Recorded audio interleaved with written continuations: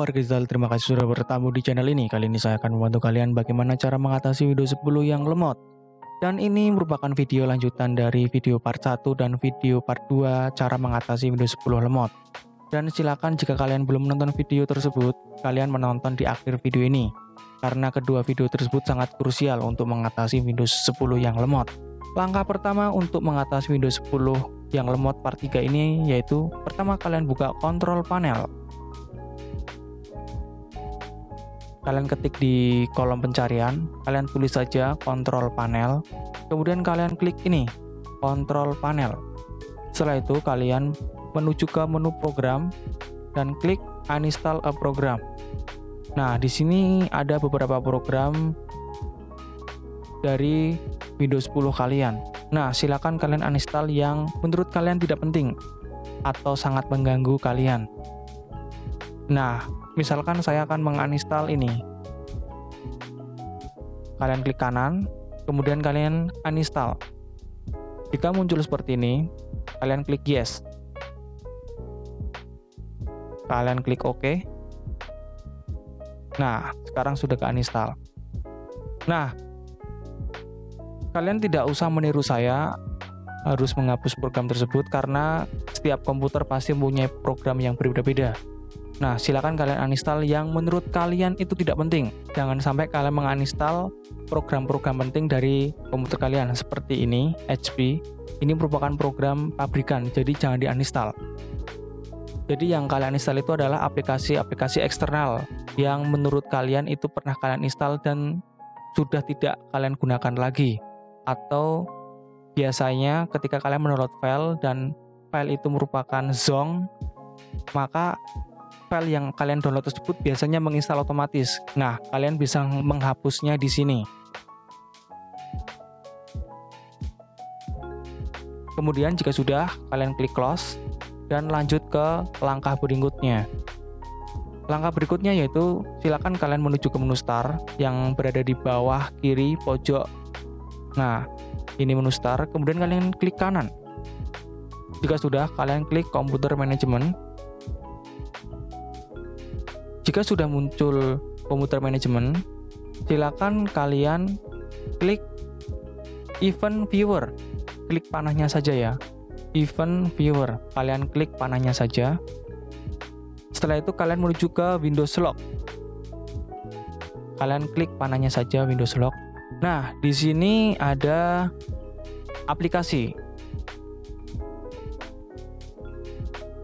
Dan biasanya di sini terdapat banyak jika sudah kalian klik clear lock. Ini ya, clear lock. Karena file-file yang ada di Windows Lock tersebut merupakan sampah informasi. Jadi jika kalian simpan terlalu banyak, maka akan menimbulkan lemot. Kemudian jika sudah muncul seperti ini, kalian klik clear. Setelah itu kalian buka menu security. Nah, di sini terdapat banyak sekali ya keyword menu security. Nah, kalian klik clear lagi, klik ini, clear lock. Setelah itu klik clear, tidak usah di save, tapi di clear saja. Jika sudah, kalian klik menu setup. Kemudian kalian klik clear lock. Clear. Setelah itu kalian buka menu sistem. Kalian klik clear lock lagi. Setelah itu kalian klik clear setelah itu kalian buka menu ini forward event kalian klik clear lock lagi. Clear. Nah kenapa di sini punya saya kosong? Karena barusan saya membuat video dan ternyata videonya gagal sehingga saya harus mengulang dua kali. Nah jika sudah kalian klik close. Setelah itu lanjut ke langkah berikutnya langkah ketiga. Langkah ketiga silakan kalian ketik di sini, tulis saja privacy setting. Nah, ini kalian klik. Setelah itu kalian scroll ke bawah. Di sini ada background apps. Nah, ini background apps. Kalian klik saja. Jika sudah, kalian hapus atau off-kan aplikasi-aplikasi yang mungkin kalian itu tidak butuhkan. Karena aplikasi-aplikasi itu akan bekerja di belakang layar sehingga akan mengganggu atau menghambat kinerja dari RAM kalian sehingga kecepatan RAM kalian akan turun karena terbukanya aplikasi-aplikasi ini di belakang layar. Nah, cara menutupnya silakan kalian klik ini ini merupakan aplikasi yang tidak penting ya. Kalian tutup. Kalau AMD jangan. AMD Intel atau grafik-grafik dari komputer kalian jangan dimatikan karena itu sangat penting. Kemudian kalian off kan, misalkan ini alarm, kalkulator. Kalau kamera sering saya gunakan untuk Zoom meeting. Cortana nggak usah. Misalkan ini Energys, eh ini nggak usah. Ini saja. Ini, ini, Nah, di sini ada aplikasi dari bawaan laptopnya. Kalian tidak perlu off-kan karena ini sangat penting sehingga saya menyarankan jangan di-off-kan.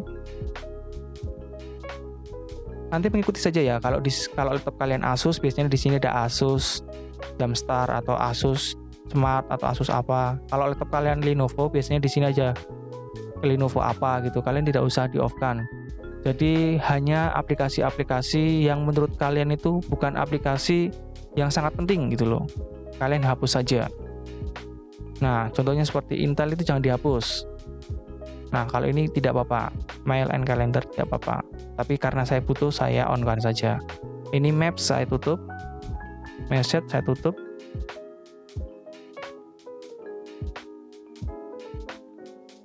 Find saya tutup. People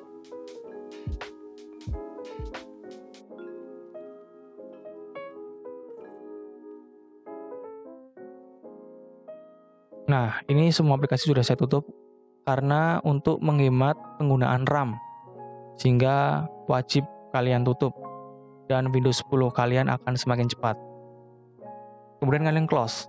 Jika penggunaan RAM kalian ingin kalian tingkatkan lagi, kalian bisa klik video yang ada di atas ini. Di situ ada cara untuk memaksimalkan RAM. Kalian klik video di atas ini agar penggunaan RAM kalian bisa semakin maksimal dan berefek pada laptop kalian yang semakin cepat. Nah, kemudian jika kalian belum menonton video part 1, kalian bisa tonton di bagian atas ini. Di situ ada video part 1. Dan ada video part 2 juga.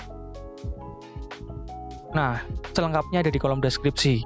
Kalian buka ketiga video itu karena ketiga video itu sangat penting untuk mengatasi Windows 10 kalian yang lemot. Nah, jika kalian terbantu dengan video ini, mohon klik tombol like dan subscribe. Dan jika kalian masih mengalami kebingungan atau kesusahan, kalian silahkan tinggalkan komentar di video ini. Ayo, dukung channel ini menjadi channel tutorial Windows 10 nomor 1 di Indonesia. Terima kasih.